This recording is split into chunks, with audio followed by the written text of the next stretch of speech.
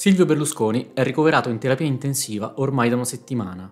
Si rincorrono le indiscrezioni sul suo stato di salute, ma le parole che contano, finora, sono quelle di Alberto Zangrillo, primario del reparto di terapia intensiva del San Raffaele di Milano. Sono sereno primariamente perché stiamo facendo il nostro meglio e sono sereno perché ho davanti un paziente che è anche un grande amico per me, non posso negarlo, e quindi c'è un grande coinvolgimento personale e detto questo lui è una persona che ci ha abituato a rispondere sempre al meglio e quindi anche di fronte a una patologia grave, in una situazione veramente difficile, lui sta rispondendo bene alle terapie.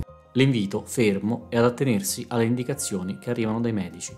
Mi devo rifare al comunicato che abbiamo fatto due giorni fa io e il professor Ciceri.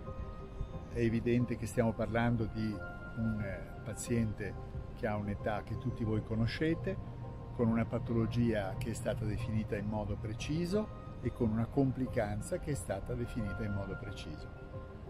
Da questo ne conseguono delle terapie mirate, delle terapie che seguono le linee guida, delle terapie condivise come deve essere sempre in medicina quando si applicano delle regole della medicina ufficiale, quindi tese al raggiungimento di un obiettivo. Il nostro obiettivo è quello di eh, poter eh, raggiungere appunto la, la, la risoluzione del quadro clinico patologico. Dell'infezione polmonare o della parte insomma, che riguarda la leucemia?